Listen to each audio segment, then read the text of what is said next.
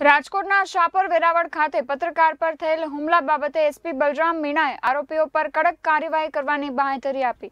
રાજકોટ જિલ્લાના શાપર વેરાવળ ખાતે લોકડાઉનમાં ફસાયેલા પરપ્રાંતિયો પોતાના વતન જવા માટેની માંગ સાથે રોડ ઉપર ઉતરી આવ્યા હતા અને આવેશમાં આવીને પોલીસની ગાડીઓને તોડભાંગ કરી હતી અને આ તમામ ઘટનાનું કવરેજ માટે આવેલા પત્રકારો પર પણ હુમલો કરેલો, જેના અનુસંધાને આ મામલો ગરમાયો હતો. ત્યારે પત્રકાર અને પોલીસ પર હુમલા કરનારને પકડીને કડક કાર્યવાહી કરવાના ચક્રો ગતિમાન થયા છે.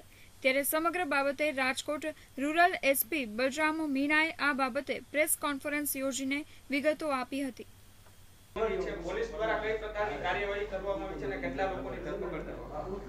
આમાં સવારે જે બનાવ બનેલું એ ખરેખર જે આપણે એક પત્રકાર મિત્ર સાથે પણ મારામારીનો બનાવ બન્યો એમાં અમુક પોલીસવાળા કર્મચારીઓ વિરુદ્ધમાં પણ પોલીસ કર્મચારીઓ ઉપર પણ પથ્થરમારો કરવામાં આવેલો હતો.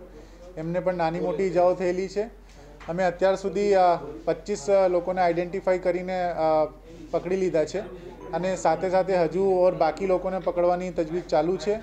એમાં આ જે પત્રકાર મિત્ર આપણા એબીપી અસ્મિતાના હતા, એને એક જે વીડિયો વાયરલ થયું ને જોયું છે, જેની અંદર જે માણસ ઉશ્કેરાટ કરતો દેખાય છે, એમાં એ માણસને પણ અમે લઈ લીધું છે અને હવે આકારા પગલાં લઈશું. એકદમ કડકમાં કડક કાર્યવાહી કરવા માટે ગુનો દાખલ કરવાની તજવીજ ચાલુ છે અને એ લોકોને આગળ સુધી જઈને વ્યવસ્થિત સજા મળે એ પ્રમાણેની તૈયારી કરીશું. પોલીસ ઉપર પણ હુમલો કર્યો છે સાથે જ પત્રકાર પણ છે. એટલે ખાસ કરીને પાસા હેઠળ એમની સામે કોઈ કાર્યવાહી થશે?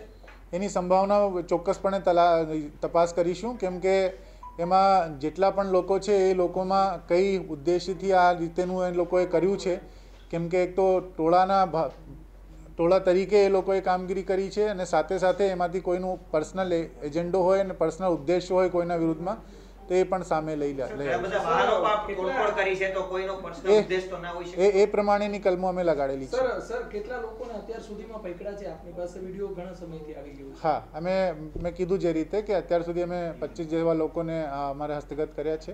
અને એમાંથી જે મુખ્ય જે માણસ છે જે માણસનું વિડીયોમાં દેખાય છે કે લોકોને ઉશ્કેરાટ કરતું છે એ પણ અમે પકડી લીધું છે. પ્રાથમિક દ્રષ્ટિએ કઈ કલમ લાગી શકે અમે એમાં જે પોલીસ કર્મચારીઓ ઉપર હમલાના સરકારી કર્મચારીઓ ઉપર હમલાનું લગાડ્યું છે રોઇટિંગની કલમો લગાડેલી છે અને સાથે સાથે ત્રણસો આઠની કલમ પણ સાથે લગાડી છે. સર જીવલેણ જીવલેણ હુમલો છે તો એ જ એ જ એ જ છે. આપના પર પણ હુમલો થયો છે? આ એમાં તે વખતમાં રેસ્પોન્ડ કરતી વખતે એ લોકો થોડાક ઉગ્ર થઈ ગયા હતા અને એ લોકોને સમજાવટ કરના કરતા દરમિયાન અમુક લોકો પથ્થરમારો કરતા હતા. એટલે વધુ પડતી ચોટ તો કોઈને લાગી નથી. પણ આ રીતેનું બનાવ બન્યો હતો તેમાં આપણે પોલીસે સમજાવટથી પતાવી અને જે લોકો આઈડેન્ટિફાઈ થઈ શકે એ લોકોને બધાને આઈડેન્ટિફાઈ કરવામાં કરી કરવામાં આવી રહ્યું છે.